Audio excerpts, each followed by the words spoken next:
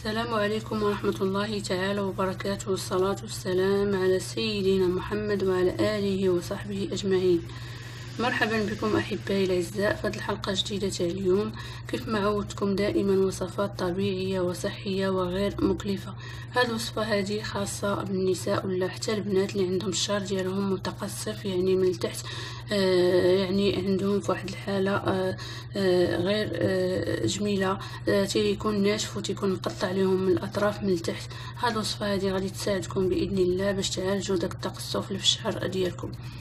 المكونات تاع هذه الوصفة غادي نحتاجو فيها زيت الزيتون وغادي نحتاجو فيها بيضة كاملة وغادي نحتاجو فيها واحد الموزة يعني بنانه اللي عندها الشعر قوي وعندها طويل ممكن تضاعف النسبة ديال البنان. دير جوج بنانات ودير جوج بيضات.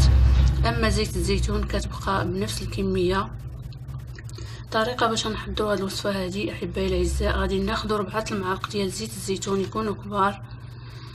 غادي نضيفوا عليها بيضة كاملة وغادي نقشروا الموزه نحيدوا لها القشور ديالها ونديروها في الخلاط مع الزيت والبيض.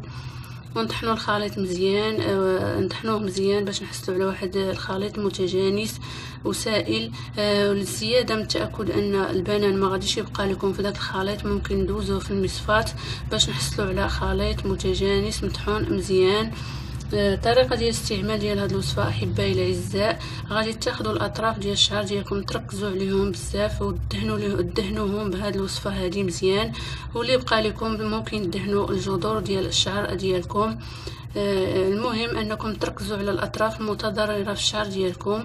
من بعد احبائي الأعزاء نجمعوا الشعر ديالنا ونديروا ليه البلاستيك الخاص بالشعر ونديروا فوطة أو فولار ونخليوه لمده ديال ساعتين في الشعر ديالنا. ومن بعد احبائي الأعزاء آه، ممكن تغسلوا الشعر ديالكم بشكل عادي. يعني تستعملوا شامبوان صحي ديالكم وتستعملوا الماء دافي. هاد العملية هذه كتكرر جوج مرات في الأسبوع. وواحد الملاحظة دائما تنقولها إلا بغيتو تستعملوا شي وصفة للشعر ديالكم ما يكونش يكون نقي. باش الشعر ديالكم يستافد مزيان من هاد الوصفات ديال آه، الخاصة بالشعر. كنتمنى منكم أحبائي الأعزاء اللي ما فهمش شي حاجة ممكن يسول في يطرح السؤال ديالو في ال commentaire وكنتمنى منكم أيضا أنكم ما تبخلوش عليا بالتشجيعات ديالكم والدعوات ديالكم. وتنضموا لي القناة باش دائما يوصلكم الجديد وتشجعوني ب like وإلى اللقاء في حلقة قادمة بإذن الله.